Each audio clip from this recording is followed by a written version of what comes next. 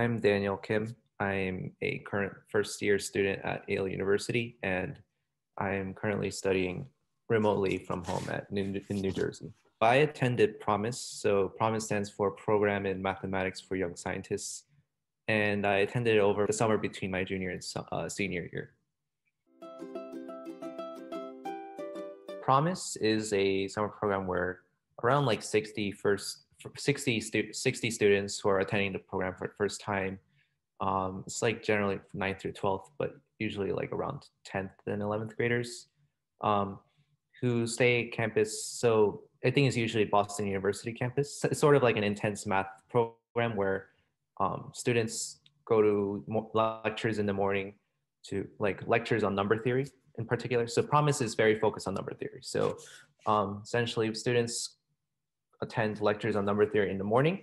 Then after the lecture, they give a problem set where um, it's a series of like from easy to very hard problems that the students generally just tackle throughout the entire day and then turn in at the end to their uh, like assigned counselor where each counselor looks over um, a student's submitted problem set and gives feedback on like their, their solutions and um, any advice on like how they should tackle problems and generally this sort of process just repeats throughout the entire uh, summer.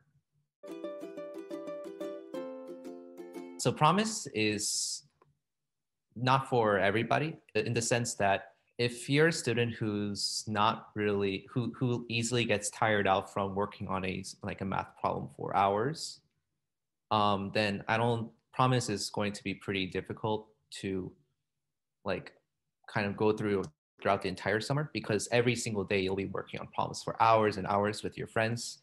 And you got to have that sort of like stamina or at least you know to make it most make it through most of it. And it's not really like a like a high stakes sort of thing. You can slack off if you want to but it's sort of like like the atmosphere is sort of like oh we're working on math problems with friends. So um that's so so in in the sense like a worst part of the program could be the worst for some people but honestly for me i didn't i really I kind of enjoy like going through problems with my friends and like even if it's hard, even if the problems are hard sometimes, I still think it's a rewarding and fulfilling experience. So um, in terms like the best parts of the program, I think that um, it's just like you get to meet it's just like the people there like um, everyone's just not just math in particular but um, they they like brought in so many um, I guess diverse people from like all over the country and even from like other countries to work together for an entire summer.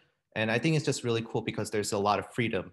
So I think the best part of the, the program is just the freedom for students to just, you know, it's just it's just lectures in the morning, just like work on the problem set all day, which means that you know even if you finish the problem set for the day, you get to just hang out with your friends for like the rest of the day, and it's just really it's just really fun. So the dining isn't like exactly like top notch, but it is pretty good. Um, and so like in terms of like location, I think the location is like excellent. Um, we're in Boston, so um, in terms of like oh like social life, you can there's so many places in Boston where you can just walk to. Um, of course, like you know, don't walk out late at night. That's like pretty obvious. But I mean, throughout the day, you can just go with your friends to literally anywhere um, and like just and then like you know while you're working on problem sets, usually kind of you can just hang out in like lecture halls in like nearby like shopping malls or um, other. Oh, we can just walk to like Harvard or MIT if you wanted to have fun there. The general structure of the program is that you know um, they trust students to be very responsible and you know and, and that's how it that's how it usually is for the entire course of the program is that you know, there's this trust of like, you know, students being responsible, uh, traveling around Boston if they wanted to. The housing, I mean, most people don't really stay in their room all day because it's it's during the summer and it gets extremely hot and there's not really air conditioning either. So um, you probably need fans. When I was looking for math programs, um, I was I was more curious into like diving delving into a specific subject in very in great detail. So some other math programs like um, Math Camp, I think Canada USA Math Camp or um, AwesomeMath or um, SUMAC, which is like the Stanford math camp. Those camps like generally are like I think they're like more they cover like a greater breadth of topics in math. Um, but in but then other programs like PROMYS and Ross, I think those two are those, the those mainly those two. Um, they delve into number theory in very like specific detail. So that's why I wanted I was mainly looking at Ross and PROMYS when I was looking for math camps to go to. And I think for those two camps in particular, um, I chose PROMYS over Ross because I really like the location of Boston. It was pretty close to uh, where I live in New Jersey too, because Ross is in like Ohio or something. And also, I mean, I had, I mean, I knew friends who also applied to PROMYS and were thinking of going there. So I guess entering the program, you know, I mainly just hear about this. Oh, there's so much like, you know, math and like all this like problem sets and stuff. And like, oh, I thought it was going to be like pretty intense for math camp. And I think in a sense, it did like fulfill like that expectation mostly as in like, oh, you are like spending hours trying to crack these like difficult math problems. But I think that um, what's some what's something that stood out to me more was like I'm sort of repeating it again, but like just like the idea of just spending hours just like hanging out with your friends in the entire day um, not too many classes um, that's like sort of like the unexpected freedom i guess from the camp is something that like i wasn't i kind of like found to be different than when i what i was thinking when i was going into it. And for me personally i think i do think it was worth the cost of like um, like the whole like PROMYS i think is it's more just more than just like you know just like simple problems they give you or something. I think it's like the whole experience of like staying like staying at a residential program for um like six weeks or think i think.